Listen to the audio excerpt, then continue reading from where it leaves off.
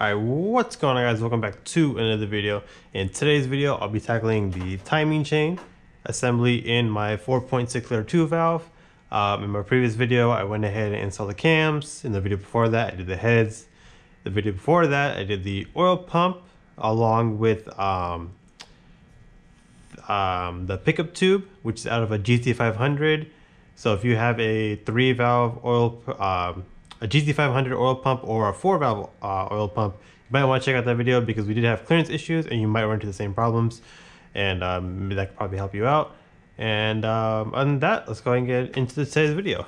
Okay, and then for the time kit, I went ahead and got the uh, Ford Performance kit. It basically comes with uh, the chains, the guides, it comes with all the timing cover bolts, it even came with a timing cover uh, gasket, it came with the cam gears, it does come with these bolts. However, I use ARP. I did not use these. Uh, I mean, um, I did not use the ones that came with the uh, with the Ford ones, but it also comes with the spacer. So I went ahead and already installed the cam gears, but if you don't know how to install the cam gears, I'll just go and give you a quick rundown. Um, there is a little spacer right here, right at my finger. So you have to put that spacer on first, and then you'll put the cam gear on along with uh, this big washer right here and then after you put the big washer on you will go ahead and put the nut in there. And um, I have the ARP one. So the torque spec I believe was like nine actually you know what? I'll put it on the screen right now because I'm not sure what it is. And then also uh, for the cam gears um, I don't know if you can see but right by my finger it's actually marked right to left. So it, it says RH for the right head and then over there we'll say LH for the left head. So make sure you check those before you put those on also these dots right here um, those are the timing marks so make sure you have those facing out towards you and not on the inside otherwise you won't be able to align it. And uh, same thing on this side timing mark. Okay so uh, first thing before we go ahead and do anything else sorry I keep looking at my phone to make sure you know you guys are in the right angle. Yeah, yeah you guys are. All right so first thing before you do anything else you want to oh Okay, so first thing before you do anything else, you want to go ahead and get your uh, crank sprocket. Your crank sprocket is actually going to help you find uh, TDC. TDC means top dead center. Cylinder one must be a top dead center before you do anything else. So um, the crank sprocket actually has a timing mark on it as well. Um, so the timing mark must be exactly at six o'clock, meaning, you know, facing directly down. That would mean you are right at top dead center. I already went ahead and put it at uh, TDC. So just make sure that's at six o'clock. And if you're not 100% sure, you could do the screwdriver trick. So basically what that is, is you take it, make sure all your spark plugs are removed. You go ahead and put a uh, long screwdriver all the way down until it's touching the top of the piston. Make sure you be careful, you don't want to damage your piston. But um, after you put it in there, you'll start uh, turning the crank and then you'll basically watch the the screwdriver, you'll wait till it gets to its highest point, and then that'll basically mean you're at top of the center.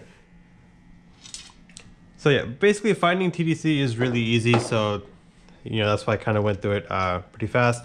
After that, I'm gonna go ahead and put this uh, crank bolt on because at the very end we are gonna turn the engine to make sure we did this correctly. So first you have to do the left side first. Let's go ahead. So let's go ahead and uh, grab our chain. So on the chain, there is going to be uh, timing marks. So there's going to be a dark mark right there. And then also on the other side, there'll be another dark mark. So basically um, one side will line up with that dot on the crankshaft and the other side will line up with the dot on the cam gear, which is right there.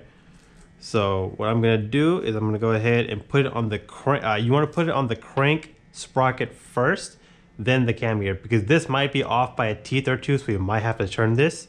This, we already know that is the top dead center. That's not going to be moving. So we're going to put it on there first. Right, so I went ahead and actually removed the crank bolt because it's actually in my way at the moment because I need to be looking at the bottom of the crank sprocket to make sure that the dot is lined up. So what you could even do just to make sure, just to be sure, you can actually take the crank sprocket off, line it up on the gear, I mean on the chain like that. So now that you can see that the mark is lined up with uh, the dot, and then just go ahead and slide it back on like that. And then go ahead and reach around on top of the chain and put it on, um, I mean on top of the gear, put it on the gear. And this line already marked is already marked, so I'm good right there. Um, I believe on the other side, I might have to turn the cam, but when we get, when we get there, we get there. So now that I got that on, I can go ahead and put on my guide. So I don't know if I'll be able to show you on camera, but on the guides, it is marked. It's right there by my finger. I don't know if you could see that, but it does say uh, left hand side. So make sure you just check that you have the correct side. So then uh, the guide will actually have one long bolt like this going through the bottom of it and then that bolt will go through uh, the oil pump and then there will be a small bolt uh, about this size this will be going through the top and then in through that uh, bolt right there and then what I did is I went ahead and got some uh, blue medium strength uh, thread locker or Loctite because uh, these bolts I do not want coming off especially because I'm going to be revving the engine pretty high so I will be putting some Loctite and then also be torquing it down to spec. Okay, so let me go ahead and grab the bolt and I'm gonna just apply a little bit of Loctite. Now that I got that on there, I'll go ahead and put it through the guide. And I'm actually gonna put a little bit more, I didn't put enough.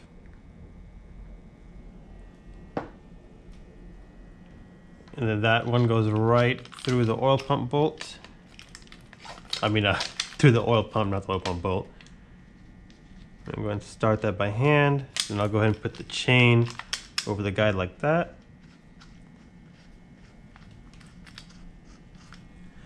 Now I'll go ahead and grab the small bolt. And the small bolt, uh, same thing. This one's gonna go on the top. I'm gonna go ahead and go and put add some um, Loctite and then let's go ahead and thread that in there. And if you're using a drill like how I am, make sure you go really slowly. You don't uh, want to have any type of impact from the impact um, because you're to be, like I said, torquing it down with um, the torque wrench. Okay, so the torque spec for these will be at 89 inch pounds. So I went ahead and grabbed my inch pounds torque wrench. Okay. I heard the click. And then uh, these clicks, since it's a very low torque, will be very subtle. So make sure you hear for a very small click. And then cool. Those are torqued. Now I'll go ahead and put on the next guide. So there's like a little pin right here. And then so basically you're gonna go ahead and slide it on top of the pin. I don't even know if that's the correct name, but that's what I'm gonna call it. And then you're gonna wanna make sure that this chain is in between the middle. And then the tensioner is actually gonna go right here. But uh, since we don't have space, what I'm gonna go ahead and do is I'm actually gonna go ahead and turn the cam gear up just a little bit just to make a little bit of space and basically I'm gonna have to hold this while I put the tensioner on so let me go and grab the timing chain tensioner which is right here and the timing chain tensioners are marked uh, L and R for left and right. So I got my left hand side and basically I'm gonna just go ahead and get ready right here. And then I'll go ahead and grab the wrench with the cam gear. Oh, I'm gonna have to stand up for this. but basically, I hope you guys can see that. I'm gonna go ahead and turn this. Oops. Turn this and that gives me a little bit of space. Now I'm just gonna have to wedge this one in there. This side is gonna be a little bit difficult.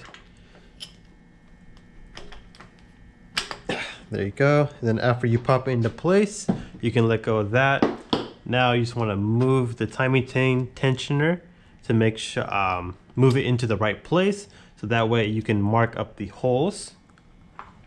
And then now I got my timing chain tensioner bolt. And same thing, I'm gonna go and uh, Loctite this with blue Loctite. And then go ahead and uh, thread in both bolts.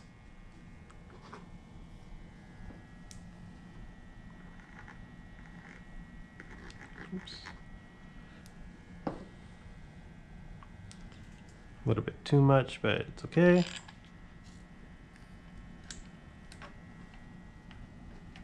And then uh, these pins, you can actually turn them left and right just so, you know, the bolt doesn't get in your way. Or I mean, just so it doesn't get in your way of putting the bolt. Now, with my drill, I'm just gonna go ahead and go all the way to the end.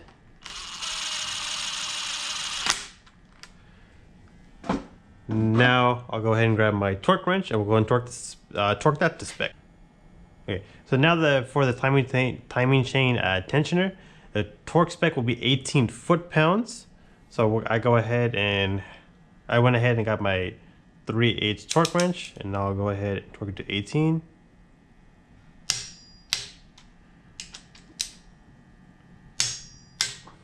Okay, now that, that one's set.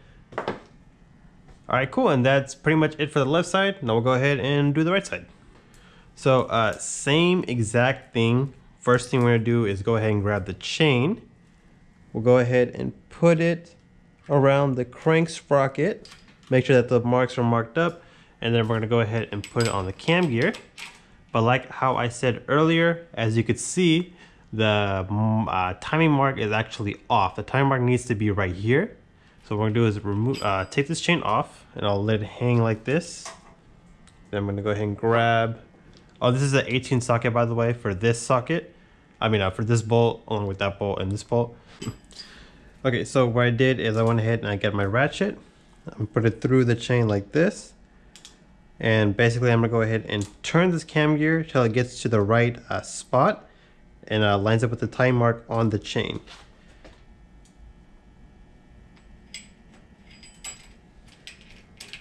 And nope, need to go one more over or a couple more over. Uh, almost.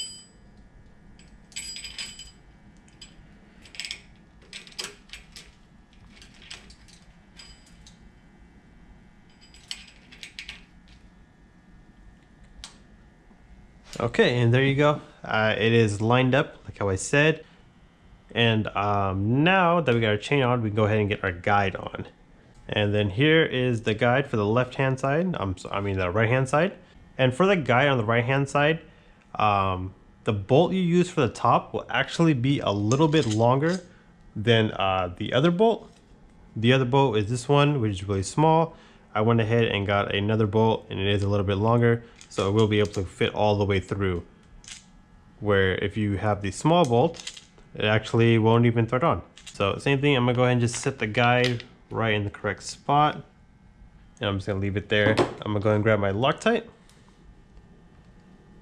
Let me go ahead and Loctite this bolt.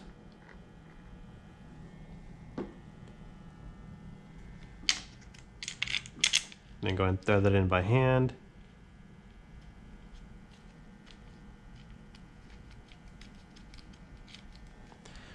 And then the bottom bolt will be the small one, like how I said earlier, the same size as this bolt over here. And same thing, blue Loctite.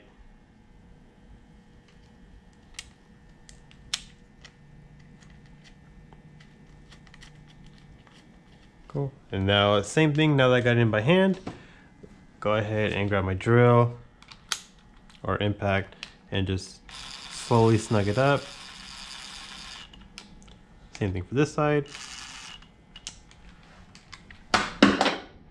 And then now I'll go ahead and grab my torque wrench. And this torque wrench is um, um, it's set to 89 inch pounds, just like on this side, it's the same over here. I'll go and torque these down.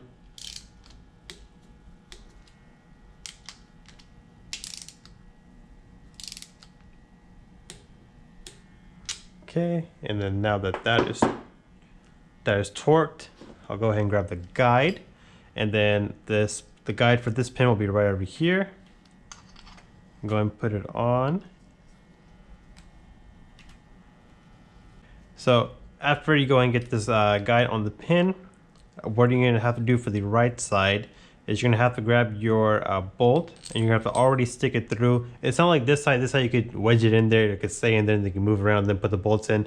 This side is not gonna be like that. You're gonna have to put the bolt in through the tensioner. Either side doesn't matter, up to you. And then go ahead, add the Loctite, then move the guide up like that, and then go ahead and fish the guide, I mean the tensioner in, and then go ahead and get this bolt threaded in by hand.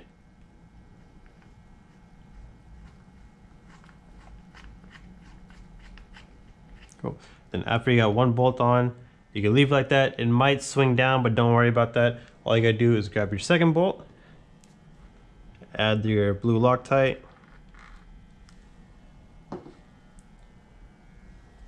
and then go ahead and line up your second hole.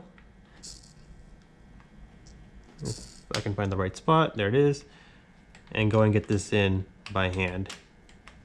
And then now that I got those in, I'll go ahead and grab my drill. And then snug that down, snug this side down. And then torque wrench, and same thing, this will be 18 foot-pounds, just like I was on the other tensioner.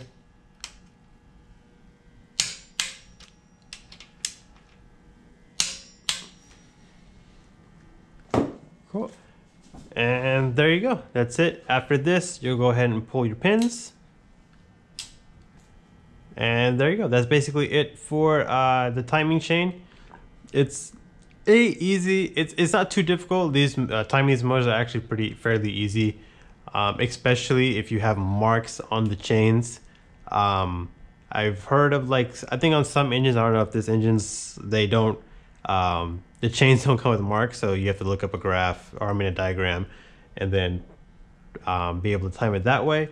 But like I said, the chains have marks. You got to make sure you're at uh, TDC on cylinder number one, and then go ahead and line up everything. So if you want, you can go ahead and um, put the crank sprocket on, and then rotate the engine. So basically, when you rotate the engine, um, what you're looking for is for these two marks to go back to top. I mean, uh, to come back to this same spot after you do two full turns of the crankshaft. So you would turn this once, one full turn, and then another full turn. So that would mean cylinder one is back to top dead center, and um, this dot will be directly at the bottom. And then you want to go ahead and look at these two dots. If they are in the same spots as they are in now, you did everything right and you're good to go. If they did move, so say like this dot is like over here or this dot is maybe down here or something like that, then something is off and I would recommend you take everything apart, you know, relook at everything and make sure um, you did it right and go ahead and do it again. Cool. Also, one more thing, uh, when you rotate the engine, this uh, chain will actually get loose, but don't worry about that. Uh, once you have oil pressure, then it actually fixes that issue because right now you don't have full tension from the tensioners. It actually uses oil pressure to have full tension. So that chain will get loose as you rotate it, but don't worry about that. Also, don't look at uh, the marks on the chains. Those chains are, I mean, these marks on the chains is just to line up in the beginning. After you rotate it, just go ahead and ignore those. You just want to be focusing on these two mainly and this third one right here at the bottom. Yeah, okay, so I went ahead and actually put on the crank sprocket. I'll go ahead and rotate just to show you guys that, just in case, you know, you guys are curious and actually wanted to see it instead of me explaining it to you. So um, I went ahead and memorized my marks. And also, I also have a, a, diagram right here, so, you know. But yeah, um, this one is right around 11 o'clock. This is right around 12 o'clock. And then, so I'm gonna go ahead and spin this twice, and I'm gonna check to see if these marks go back in the same spot. And then when you're spinning, you wanna make sure you're spinning uh, clockwise. These engines turn, uh, rotate clockwise. And then that's what I was talking about. The chain does get loose, but don't worry about that because once uh, the tension has oil pressure, that this this will tension up. But so don't go ahead uh work ah, go ahead and ignore that for now. And then there you can see the marks, that means I did a half turn.